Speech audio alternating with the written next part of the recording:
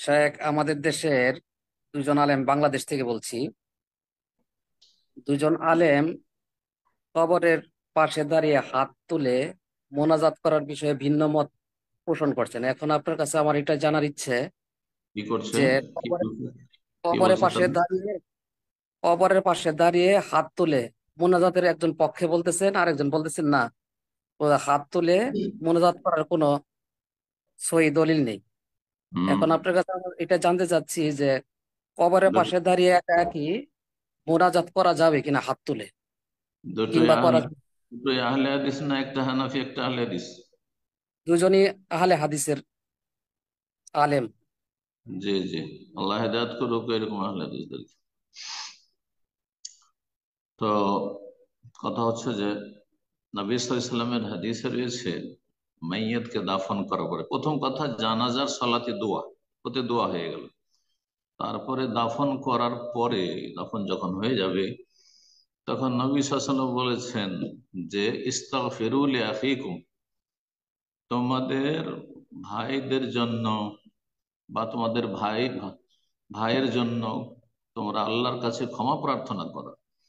ওয়াসারুল্লাহ আল্লাহ তসবির এবং আল্লাহর কাছে তার জন্য দৃঢ়তা কামনা করো যে সে যেন আপনার মন কান্না কিরে প্রশ্নের উত্তর দিতে পারে।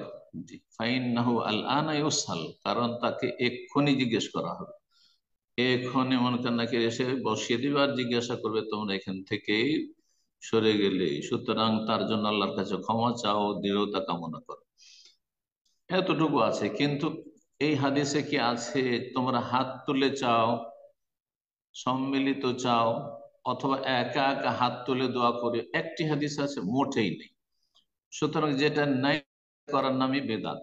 যেটা নেই সেটার নামই হচ্ছে বেদাত। রসুল্লাহামের সামনে এই ক্ষেত্রগুলি অহরহ এসছে। বহু জানা যায় নবী সাল্লাহ জানাজার সালাদ পড়িয়েছেন, শরিক থেকেছেন। নবী সাল্লাম মাইয়তের জন্য ক্ষমা চাইতে বলেছেন, তসবির চাইতে বলেছেন, কিন্তু তিনি নিজেও হাত তুলে দোয়া করেননি এবং সাহাবাই কেন হাত তুলে দোয়া করেননি। আর বলেননি যে, তোমরা দোয়া করবে তো হাত তুলে দোয়া করো, হাত উঠিয়ে দোয়া করো। এ কথা বলেননি। সুতরাং এক শ্রেণি আহলে আবু আগে থেকে যেমন সম্মিলিত মোনাজাত করে আসছে ফরজ সলাতের পরে, ফরজ নামাজের পরে, ঠিক তেমনই এই ক্ষেত্রেও চলে আসছে। এরকম মেলাগুলি। ভুলভ্রান্তি আছে, না জানার কারণে করেছে আমাদের আগের আলেম আলমারা আর যারা আজকাল করছে না, তারা হটকারিতা করছে।